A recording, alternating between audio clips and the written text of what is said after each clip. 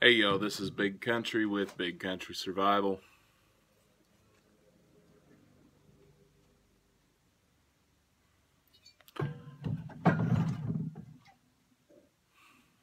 Just a little thing for you guys.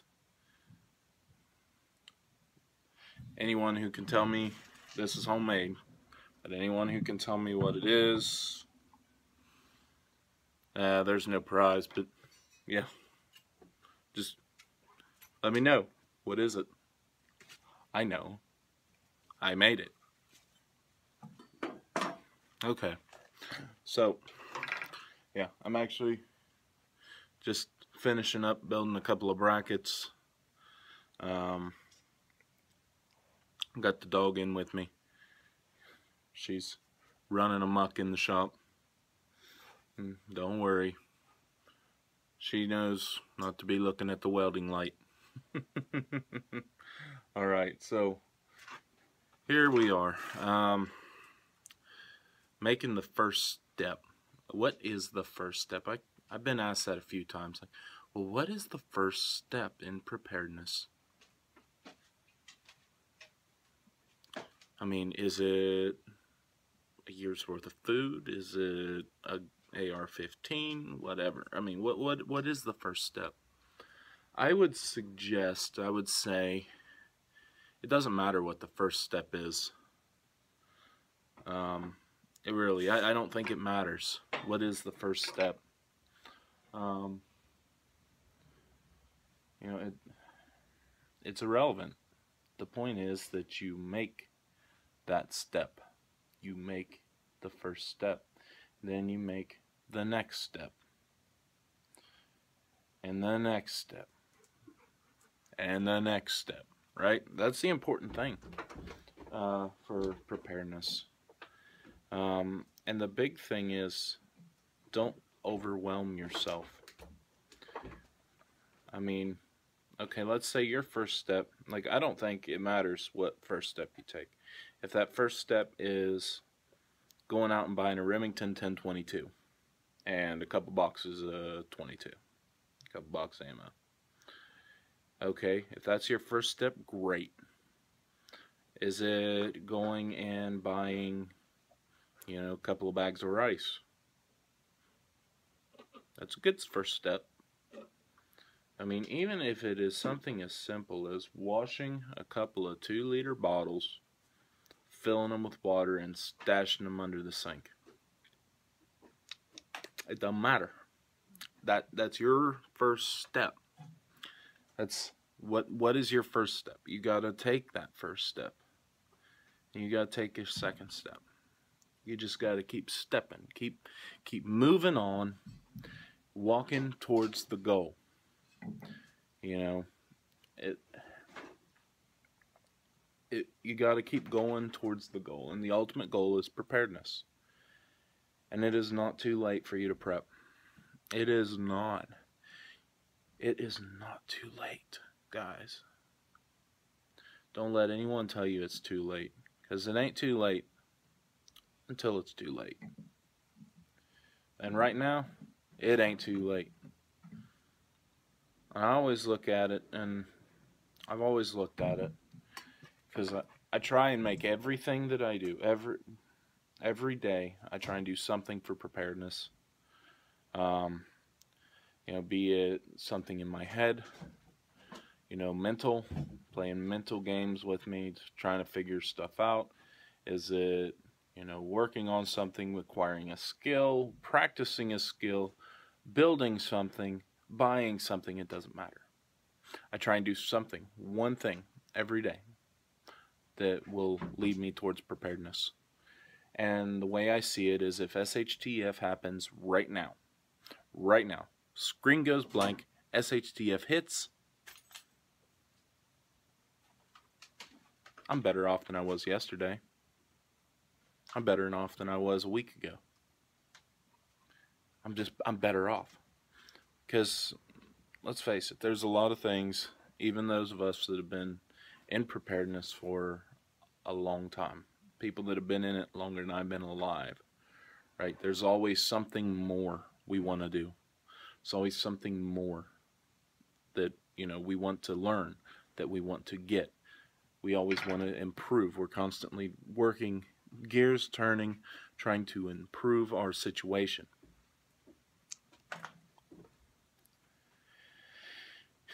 And let's face it, none of us are ever going to be truly ready until it happens.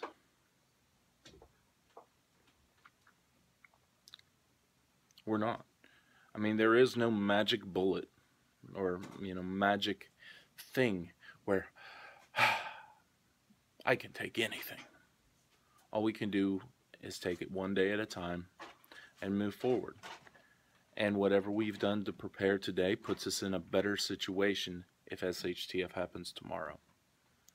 So don't panic and say, oh, I need to buy a year's worth of food right now and then go into debt. Like, don't do that. Take it one day at a time. Build up your stockpile. You know, get a week's worth of food. Work on that first. Get another week. Get another week. One after the other. Just keep going, going, going. Right? And then you get that. You, You'll get that year's worth of food in no time. I mean, it doesn't matter what your first step is. Just take that first step and take the second step. Just keep going, keep pushing forward. You can do this, guys. You can do this. I know this is my happy face, right? This is my this is my motivational speech for all you guys. I hear a lot of negativity um, going out in the preparedness community. Um, and people saying, well, you're going to die if you don't do this or if you don't do that. Um, and that's bull. That is absolute bull. Because all that pre preparations could be gone. What you got to do, all their preparations could be gone tomorrow. Fire, come, everything gone. Nothing. They have nothing. It could happen. It could happen to me. Um, you know, it could happen to anybody, really. Um, so, don't listen to them. What you do is you figure out what you can do on your budget. Skills, skills are cheap. Skills are plentiful online that you can read. You can go out and try them. Right? You can go out and practice these skills. Um, it, doesn't take a lot of money, most of them. I mean, you can go out there and practice bushcraft with a freaking kitchen knife. I mean, you can go out there and do some true bushcraft and go find a rock.